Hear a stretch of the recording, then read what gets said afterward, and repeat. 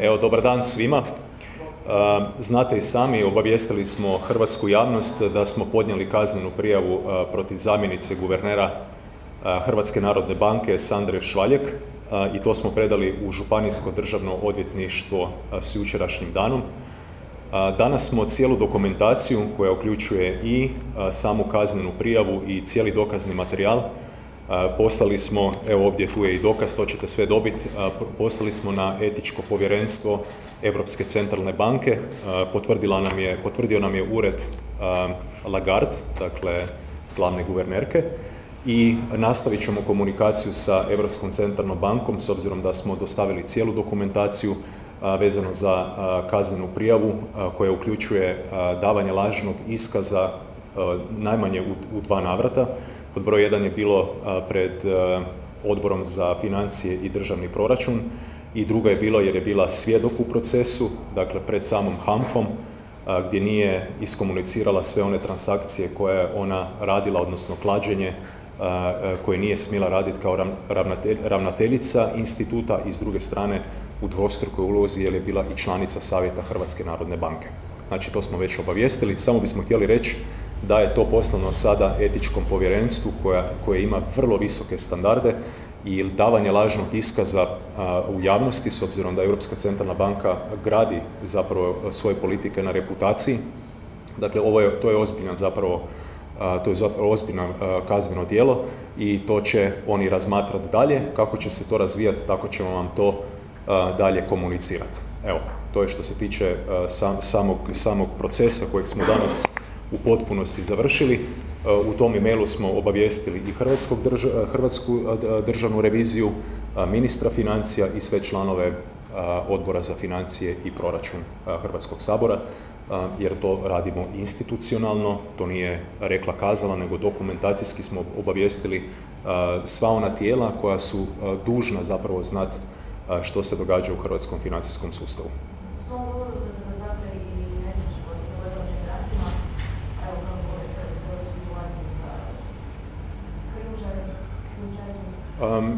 Što se tiče teme migranata, mislim da od saborskih zastupnika da najdublje pratim tu temu i da smo je otvarali još, još ranije, gdje smo, kad su bile i one prve krize, mi smo pratili njihov put koji je išao od, dakle, iz šuma iz Bosne i Hercegovine prema Sloveniji i tada smo ukazivali na ozbiljne probleme i sigurnosti koji su se očitovali prije svega u Karlovačkoj županiji koje sad vidimo da su provalili u kuću u Dugo, Resi, da su dijete ni krivo ni dužno zalijepili uz zid, da ulaze u vikendice i da pale ljudima parkete. Za vrijeme ljeta, to je ono što smo i govorili, u vrtovima ljudi vrše nuždu.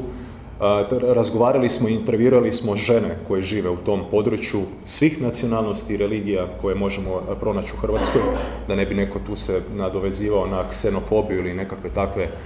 etikete. Svi su izrazili zabrinutost i strah da kada ti migranti prolaze pored njih, ja sad govorim o ženama, da su to pogledi koji ih proždiru i preziru u isto vrijeme. I to smo govorili da je činjenica. Ono što se sad dodatno dogodilo, na ono što smo upozoravali kada hrvatska vlada nije na vrijeme reagirala i sustavno, sad se prelilo i na nesigurnost u prometu, jer svi oni krijumčari koji se nalaze prije svega na granici Hrvatske i Bosne i Hercegovine, koji dolaze iz zemalja koji su pod viznim žimom Republike Hrvatske, dakle voze nezakonito kombije u kojem prevoze migrante, prije svega su one lokalne ceste u opasnosti. Vidjeli smo danas u Kustošiji da, da su se zabili u rampu. Mogli su ubiti neko dijete koje je išlo u osnovnu školu ili je baka išla sa djetetom iz vrtića. Dakle, ta nesigurnost koja je bila već prisutna, sigurnost u sigurnosnom smislu, sad se prelila i na na prometnice. Vidjeli smo da je poginula ni kriva ni dužna, dakle obitelj iz Rijeke, otac i majka su poginuli točno se zna od kud dolazi krijumčari, dakle to je sad jedan zatvoren proces i ono što sam imao sad prilike reći u Hrvatskom saboru, ako ovako nastavimo, mi ćemo u kratkom roku izgubiti u potpunosti suverenitet.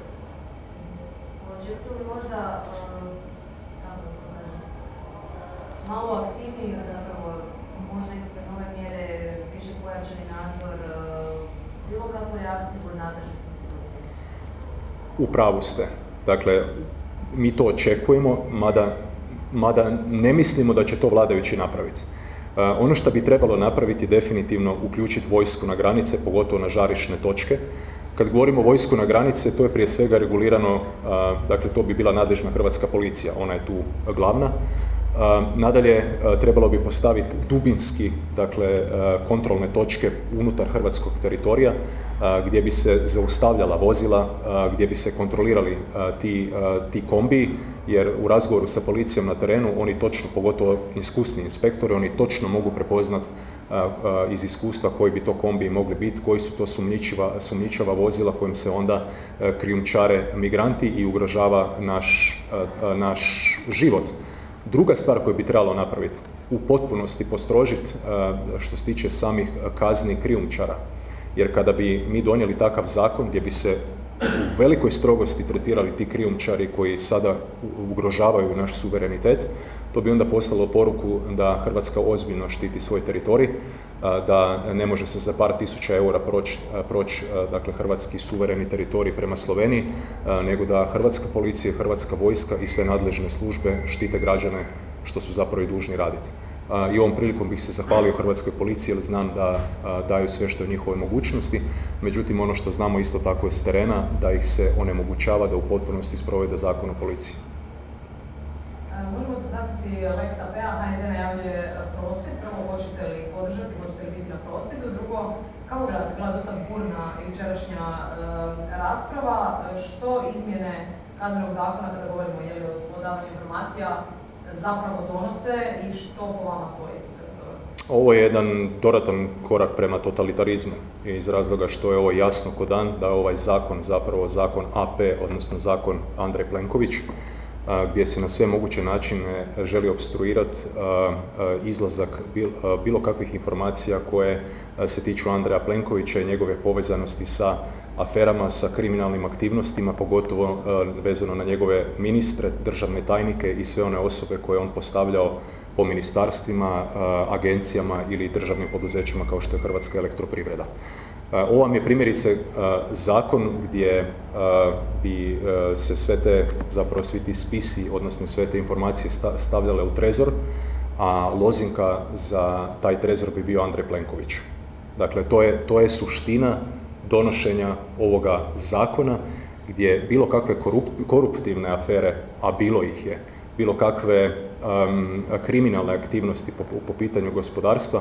da nikada ne ugledaju svjetlo dana, odnosno da javnost ne upozna s kakvim se sve aktivnostima bavi hrvatski premijer. Ne samo zato što je izborna godina, nas to brine u općenitom smislu, jer će to sad uključivati, to je zapravo novo kazneno djelo kad pogledate u svojoj suštini, gdje će u, zapravo u izvidima maltretirati i vas novinare i u tim istražnim radnjama i ako sudac tako odluči, moguće da vama onda oduzmu mobitele i sve aplikacije kojima ste dolazili do, do informacija. Brine nas dodatno jer je krivo iskomunicirano javnosti da, je, da su takve prakse prisutne u Europi, odnosno u europskim zakonodavstvima. Mi nismo našli, mislim da je to paušalan pristup bio gdje se komuniciralo kako je to u nekim zapadnoevropskim zemljama međutim niti jedno zakonodavstvo koje smo mi izučavali ne, ne istražuje dakle, izvor samih informacija i ne maltretira se novinare za, za, za taj segment, nego ono što smo zapravo imali vidjet, prilike vidjeti jest jedan jedan mudri pristup, ajmo to tako reći, gdje se u nekim europskim zemljama organiziraju i edukacije i uh, određeni seminari na razini uh, državnog odvjetništva i, novinara, imaju zajedničke uh, seminare, odnosno zajedničke tečajeve, gdje se onda kroz te treninge omogućava novinarima da dođu do objektivnih informacija na samom izvoru, znači da točno mogu biti upućeni šta je to što se događa, a ne da se na ovakav način dodatno stavljaju blokovi i blokade između zakonodavstva koje nam je rak rana i novinara koji imate tu evo, svetu dužnost eh, prenositi informacije objektivno eh, hrvatskoj javnosti da vide kako nam eh, funkcioniraju institucije koje građani financiraju. neki dalje Tuvić na odgovoru rekao da se izuzeo iz predata razloga nakon mjeseca i pol dana, Međutim, informacija se suda kaže da baš nije tako.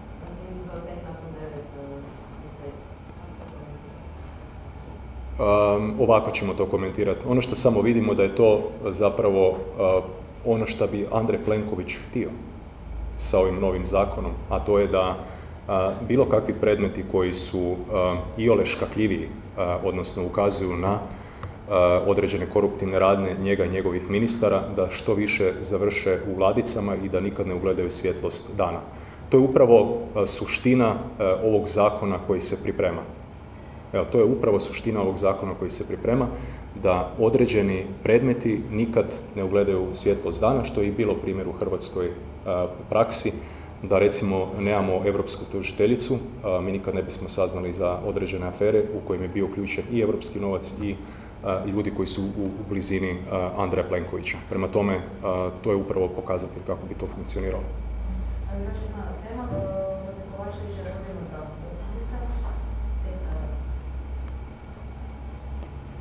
Mislim, ne možemo to komentirati jer e, istražni procesi traju to koliko traju, izvidni procesi traju koliko traju. Ono što nas zabrinjava da žalac nema svoj epilog, postoje brojne afere koje nemaju svoje epiloge i koji se vrte po sudskim procesima godinama i to je upravo razlog zbog čega europski i svjetski investitori izbjegavaju uvelike Hrvatsku mi bismo voljeli vidjeti određene ministre tipa inkriminirajućeg Čorića, isto tako koji je za nagradu dobio poziciju Hrvatskoj narodnoj banci. Voljeli bismo vidjeti recimo Franu Barbarića, evo sad ćemo vam iskomunicirati činjenicu da je direktor za sektor računovodstva, kontrolinga i reviziju pobjegao iz Hrvatske elektroprivrede, riječ je o Marku Dvorskom. Pobjegao je iz razloga što treba zaključati knjige financijske, a, određene radnje koje su trebale biti u, tim knjigama, a tiču se možda i afere Plin za jedan cent Andreja Plenkovića i njegovog štićenika Franu Barbarića, bi trebalo biti u knjigama, a to čovjek nije htio proknjižiti. Prema tome, evo, to je ono što nas zanima, što bismo htjeli stvarno vidjeti kome se sve to pogoduje i zbog čega. Mi naravno svako pogodovanje kao antikorupcijska stranka osuđujemo i smatramo da bi svaka afera trebala gledati e, svjetlost dana i dobiti adekvatnu, pa možemo reći tako, kaznu, gdje bi kao društvo trebali odreagirati da ne prihvaćamo takav način ponašanja, da se preko naših agencija, državnih firmi i tako dalje e, pogoduje privatnim interesima. To je recimo zadnji recentni primjer Pavi Vujnovcu što smo izvještavali.